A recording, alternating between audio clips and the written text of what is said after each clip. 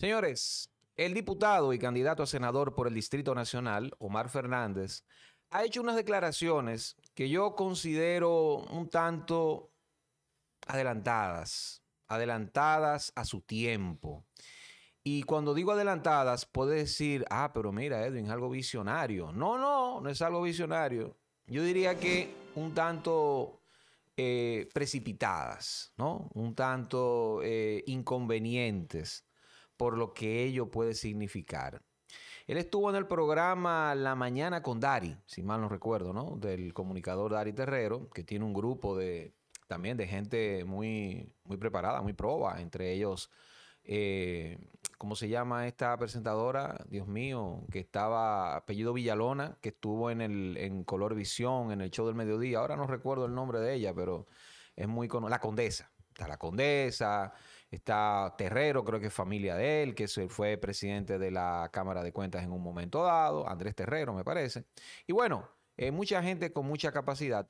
Y Omar Fernández dijo lo siguiente en torno al tema de la victoria y de qué hacer con el sistema penitenciario en República Dominicana. Una posible solución. Vamos a escuchar eso. En privatizar no, en capitalizar, que no es lo mismo. En capitalizarlo, ah. sí, que no es lo mismo. Yo creo que es viable explorar la posibilidad, sobre todo que este gobierno sí que tiene vocación, de lo que estoy a punto de decirte, de alianzas público-privadas que nada de malo tienen. Yo creo que sería interesante explorar la posibilidad de a través de alianzas público-privadas poner en, eh, que, diríamos que el sector privado pueda gestionar y administrar cárceles eh, para que tenga un mejor rendimiento y sobre todo para que los propios presos sean hasta más productivos. Estamos hablando de que ya no solamente hablamos de un modelo de, eh, ¿cómo se llama?, acciones comunitarias, sino también que puedan desde allí educarse, que puedan trabajar para confeccionar su propia ropa. Eh, óyeme, bueno, ahí estábamos viendo y escuchando a Omar Fernández en torno a qué hacer con el sistema penitenciario. Le preguntaba a la joven, y no salió la pregunta, pero ella le preguntaba que, que así como Leonel Fernández tenía una tendencia a privatizar las empresas públicas que, que él consideraba al respecto, se podría hacer lo mismo con las cárceles, y él se mostró a favor de capitalizar, hizo una diferencia entre la capitalización y la privatización. Generalmente no lo explican, pero la capitalización tiene diferencia con la privatización en el sentido de que no se vende totalmente la empresa. Eh, generalmente el Estado, en el caso de lo que pasó en el gobierno de su padre, que se capitalizaron las empresas eléctricas, se dio el 49%.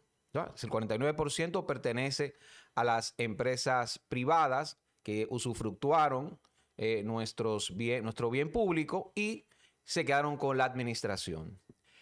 Ese es el problema. Yo pienso que de acuerdo a la experiencia, no ha sido lo mejor en el caso de la gestión privada con el sistema o semi privada con el sistema eléctrico de generación y distribución. Ahí vemos el desastre, cómo cada año se multiplica muchísimo el término de el, problema de las pérdidas. El año pasado, tan solo el año pasado, se totalizaron más de 4 mil millones de dólares en pérdidas. O sea, no quiere decir, Mario, que automáticamente el hecho de privatizar, capitalizar, eh, capitalizar como digo, que para mí es una diferencia semántica, pero al final del día está cediendo al sector privado esa, esa, tu bien público eso no significa que va, que eso no significa ser eh, eh, eficiente. No es automático eso de la eficiencia. Y ojo con otra cosa. El sistema penitenciario, yo no estaría de acuerdo con una privatización o una capitalización. ¿Tú sabes por qué? Porque sería ceder de manera preocupante, a mi modo de ver, el monopolio de la violencia por parte del Estado y por parte de un Estado tan pequeño. Porque vamos a ver en Estados Unidos. En Estados Unidos son privadas o son capitalizadas. El, modelo, el modelo se distribuye de esa manera. Pero ¿qué ocurre, Mario? Eso hay que hacerlo eficiente. No, pero son eso, eso hay que hacerlo eficiente. No, pero, sí, claro que, no lo dudo. Y yo lo sé que es eficiente. Y para que vean qué tan eficientes son, los remito al documental The 13th de Ava DuVernay, o la enmienda 13 que está en Netflix, para que ustedes vean que se ha eficientizado tanto que se considera de diferentes aristas sociológicas estadounidenses y, se ha estudiado muy bien, lo van a ver en el documental, que las prisiones en Estados Unidos son el nuevo sistema de esclavización. 10 de cada 10 presos están conformados por un 70% de negros y de latinos. Solo dos serían de los blancos white trash. Y tú me dirás, diablo, los negros son los más delincuentes. Son, delinquen más que los white trash blancos. No, ahí entra el tema del racismo. Ahí entra un tema. ahí entra un tema. Otra cosa. Ahí entra el tema, además, ahí entra el tema además de que tenemos que, que usar presos. Tenemos que tener presos. La mayor cantidad de presos posibles en las cárceles. Entonces, si tenemos una crisis de presos preventivos, ¿verdad? De que tenemos un 60% de, lo, de, la, de, los, de los presos de nuestro país que no se de la población carcelaria que no se le ha aplicado eh, causa, que no tienen juicio, no tienen, no tienen una condena, no hay una sentencia al respecto, no quiere decir que eso va a acabar con un sistema penitenciario privado, ¿eh? porque se necesita o capitalizado, está bien, Mario. Eh, es parcial, no, no es pero, pero, no, pero, no, pero no lo administra el gobierno, lo van a administrar ellos. lo van a administrar ellos. Lo que quiero decir, señores, que, que ningún negocio sin clientes eh, va para parte. Eso es lo que les les estoy diciendo. Y ceder un país como nosotros ese monopolio de la violencia que debe tener un Estado, y en este caso, de, de no solamente de la violencia, sino de la, de, la reinserción, de la reformación del preso, que quede en manos del sector privado, a mí me parece tan preocupante como aquello que se está diciendo y no, y ese, ese fantasma no se ha ido todavía, que es de la privatización de la Policía Nacional. Así que mucho ojo con eso, señores, ¿eh? Y mucho ojo con eso, porque Omar, repito, no debió decir esa vaina. Si, si tu intención es esa, si tu intención es que tú estás representando a empleado, perdón, a empresario pesado, a uno Vicini, no, yo vi la entrevista. no sé, ¿Qué fue el contexto? Corripio, Leonel Fernández, bueno, no sé, no sé, ¿tú entiendes? cuidado, cuidado ahí, ¿eh? Tú sabes que eso fue producto, no fue una propuesta de él, fue producto de una respuesta. Hay que ser, hay que ser justo con una, una, pregunta que le hicieron. Sí, una pregunta y respondió. Pero dijo lo que pensó. Ok, pero ahora bien, hay que diferenciar para, para que la gente no, se pierda los conceptos, que aunque están relacionados económica y políticamente, capitalización y privatización no es lo mismo. ¿Por qué? ¿Cuál es la intención de la capitalización? ¿Verdad? aumentar, propiamente dicho, el capital de una empresa pública. Eso se da en el sector público o privado, la capitalización. Sí, igual la privatización. Tú puedes tener una empresa privada y capitalizarla, buscando que un socio.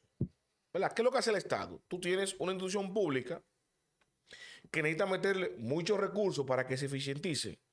Y tú como Estado no tienes, o te metes en deuda y buscas dinero por Estado y lo, y lo metes en esa institución, o la puedes, tener una opción en la capitalización, entonces socio con el sector privado. ¿Para qué? Para que el sector privado traiga recursos.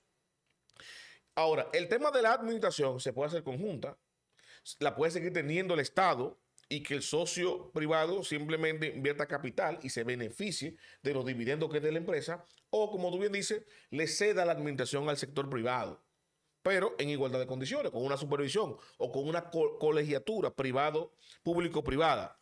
Y en sí la capitalización no es mala, lo que hay que ver es la intención. La intención como, con la que tú la hagas políticamente hablando. Si tu intención es disfrazar de capitalización el regalo de una empresa pública a un sector X privado, es otra cosa. Ahora bien, ¿qué es lo que yo pienso? ¿Qué tenemos ahora mismo en el sistema carcelario dominicano? Tenemos un sistema corrupto donde a los presos se utilizan, como tú señalas, posiblemente como esclavos o como instrumento para enriquecerse, que ese dividendo no vuelve a la arcas del Estado, sino que se lo roban dos o tres funcionarios. No lo estoy diciendo yo. Lo está diciendo una persona que sabe del tema penitenciario dominicano y regional y que trabaja en el Estado, que es Roberto Santana. ¿Qué dice Roberto Santana? Que trabajó en el Estado. Es bueno. Que trabajó en el Estado, Mario. Bueno. Y, cuando yo no vi el decreto de... Él renunció. ¿Cuándo? Él renunció en el 2022. Él soltó eso en banda. Ah, yo no es que, vamos a otro, otro corte. en otro corte hablamos de eso. Sí, en otro corte vamos a hablar de eso. Entonces, mira. ¿Qué pasa? Roberto Santana dijo, cuando trabajaba en el Estado hace dos años, que el sistema cárcel, por ejemplo, en la cárcel de la Victoria, y yo lo dijimos en otro corte, había una recogida de dinero, 7 millones de pesos semanales.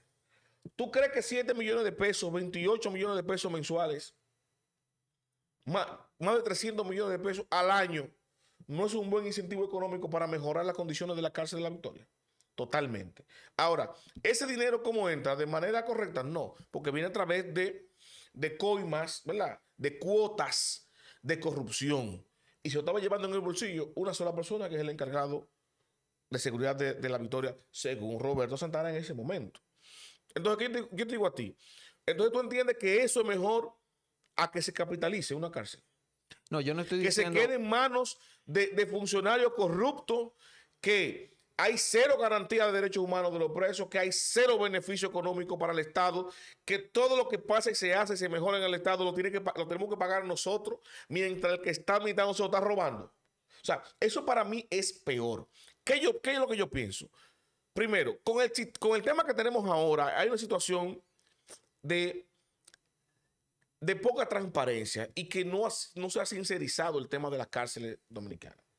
Y cuando tú lo abordas de manera responsable, dices, bueno, la capitalización pudiera ser, pudiera ser una vía. ¿Por qué?